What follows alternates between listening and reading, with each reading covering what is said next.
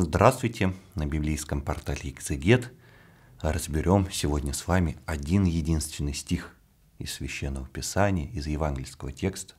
Постараемся глубиной своего сердца понять его неизмеримую глубину и обратить внимание на то, что, читая главу или даже а, не главу, а лишь отрывок, порой ускользает от нашего внимания, и, соответственно, мы упускаем возможность напереться на некоторые открытые нам Господом, Духом Святым и Апостолом истины – на пути в Царствие Небесное. Итак, вторично призвали человека, который был слеп, и сказали ему, «Воздай славу Богу, мы знаем, что человек тот грешник».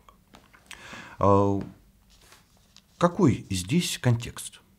Контекст исцеления Господом слепорожденного. Одно из величайших чудес Господь отверзает очи человеку, который не видел никогда, то есть не ослеп в результате катаракты, какого-то э, тоже увечья, а родился, который не видел божественного света. А тоже мы видим тут уже диалог этого человека с фарисеями, с садукеями, с книжниками, с людьми, которые его настраивают против Христа, говорят, о, человек грешник, он там не чтит субботу, и вообще он там э, бесовщиной какой-то занимается. Ну, то есть клевета такая на Господа. Но слепорожденный, а, он видит Господа, видит его своими духовными очами, еще не увидев его до этого вживую и поэтому он с этим не соглашается. Конечно, это тоже то евангельское чтение, которое многократно, и весь этот отрывок был истолкован, и батюшки на проповедях неоднократно об этом говорили, поэтому тоже вспоминаем эту параллель, ну просто как некоторую базу, да, что вот а, слепота духовная фарисеев, которые хорошо видят, и слепота телесная, которая заканчивается, а духовные очи у человека слепорожденного утверждается, и он от истины не хочет уходить. Не будем это обсуждать, не будем обсуждать а, весь отрывок больше. А, вспомним только о том, что этот человек, он Христа не видел. Потому что Господь взял, плюнул, сделал брение, помазал очи слепому и говорит, иди умойся на источник. И человек идет, моется на источник, и только потом прозрел, а Христа уже рядом нету. То есть он даже не видел, кому должен быть благодарен. Нам в данном случае, уже в данном конкретном стихе, а, зная вот эти все обстоятельства, а, мы видим, как козни сатаны строятся, и как люди служат вольным или невольным оружием в руках лукавого. Апостол Павел говорит очень важные слова, которые постоянно должен помнить христианин. Наша брань не против плоти и крови, но против духов злобы поднебесной.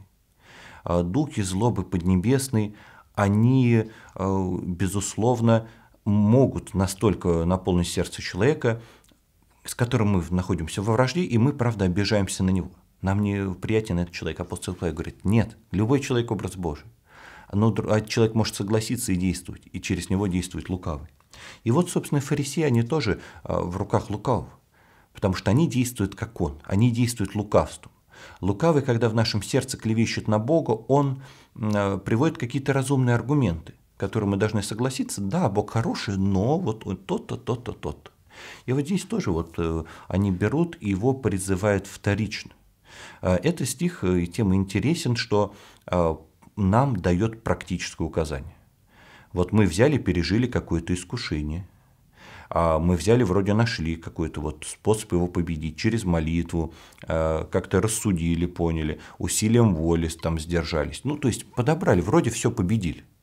А, или как вот сейчас идут исследования, что вот коронавирус, кто-то переболел, антитела выработалось, а потом раз-раз-раз, и проходит несколько месяцев, и они заканчиваются, и уже заново можно заразиться.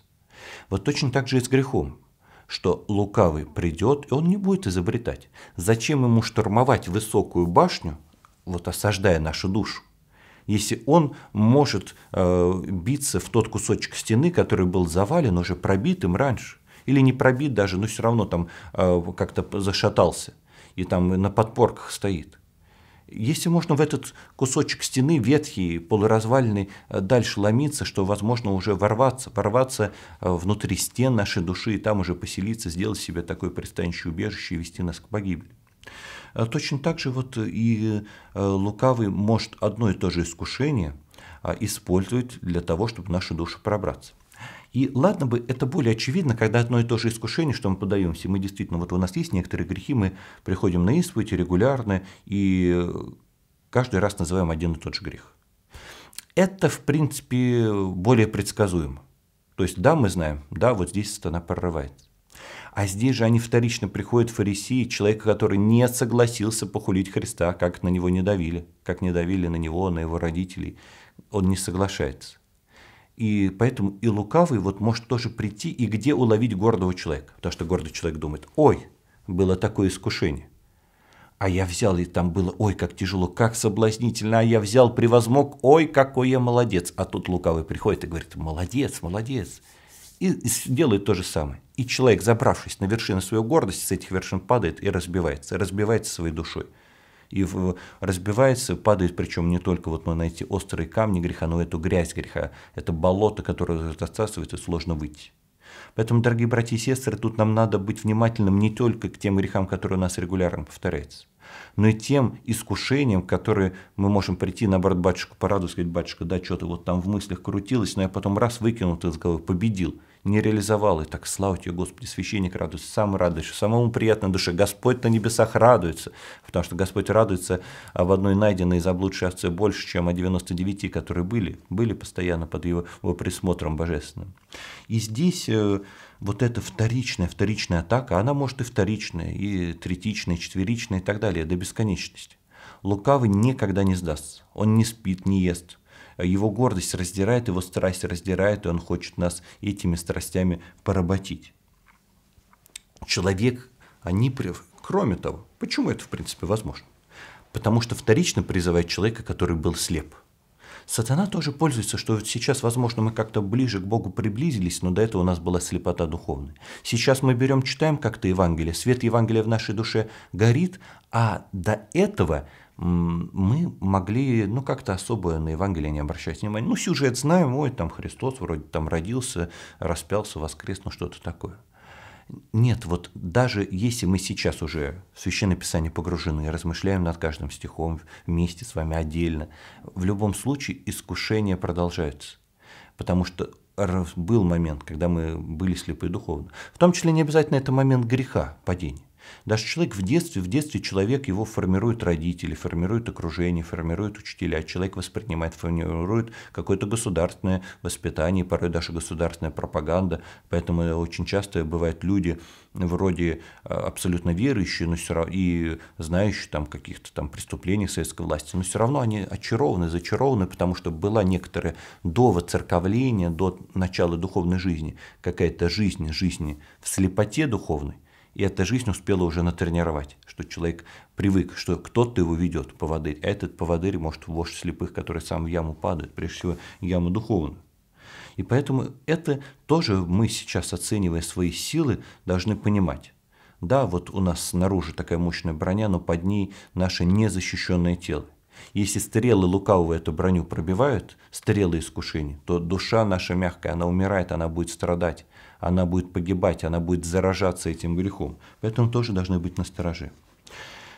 Тоже мы видим, как э, лукавый может действовать и через лукавых людей, потому что воздай славу Богу, а вот этот человек, он грешник. Это тоже очень частое, частое а, такое, вот когда особенно человеком обида движет, что он говорит, ладно, на Господа я не ропщу. Господь хороший, да, он мне испытания посылает, все равно его люблю. А вот человек тот грешен. И поэтому очень часто э, там люди приходят на исповедь и говорят, ой, батюшка, вот там с кем-то поссорился, того-то обидел, и спрашиваешь, а вы там попросили прощения, а вы примирились? Не-не-не, ну это такой ужасный человек, он такой неприятный, что с ним мириться и так далее. Вот, ну я же на исповеди скажу, и все достаточно. Нет, помним, заповедь люби из двух вещей стоит, возлюби Бога всем сердцем и ближнего, как самого себя. Если ты приносишь покаяние на исповеди от человека, который пострадал, не приносишь покаяние, значит, ты половину не сделал. Точно так же и здесь это вот получается такое разделение сатанинское, такое его искушение, что вот Бога-то да, ты хвали, а человека от него подальше держись. Это искушение, оно особенно опасно для людей воцерковленных, потому что уже, ну вот, я вроде по закону Божьему живу, я вот там молюсь, пощусь, причасть, я в принципе Евангелие читаю, я на него оглядываюсь, поэтому для меня, ну как бы вот эти грешные ближние, от них надо держаться в стороне, они мне совсем не указ. Безусловно. Безусловно, когда сатана что-то говорит, мы не должны это сразу обличать и отвращать, потому что начало он всегда в качестве наживки использует абсолютно верную мысль первым делом, от кого бы ты помощь не получил, да и даже не помощь, наоборот, вред получил, все равно славу Господу воздаем. Всегда мы Господа славословим. Но не соглашаемся со второй частью. Не соглашаемся с этим троянским конем, не соглашаемся с этим ядом, который э, снаружи в очень вкусной оболочке пребывает. Нет, берем и дистанцируемся. Дистанцируемся от обвинений человека в грехе. Понятное дело, что тут э, иудеи обвиняют Христа, который не имеет ни малейшего греха. Тем не менее, а, каждый человек образ Христов. И каждый человек, он, имея грех, не является тем злом, который клевещет дьявол. Потому что дьявол берет, находит уголек, действительно, грехов в сердце другого человека, и его раздувает. Поэтому, дорогие братья и сестры, резюмируя, резюмируя и беря в пример э, вот поведение этого человека, который ну, доблестно всему этому противостал, все-таки вспоминаем. Вспоминаем, как лукавый хитер. Вспоминаем, что может он уже в отбитых грехах, что он не сдастся, их снова будет подсовывать. Вспоминаем, что любовь к Богу и ближнему неразделима вспоминаем то, что совершенствование души невозможно, если мы не заботимся об окружающих людях. Если мы это будем держать в голове, если мы будем вспоминать, перечитывать этот отрывок и обращать внимание и на этот коротенький, вроде бы, на первый взгляд, проходной стих, то Господь обязательно нам поможет и второй, и третий, и 133, какой угодно штурм лукавого в нашем сердце, сдержать его, победить.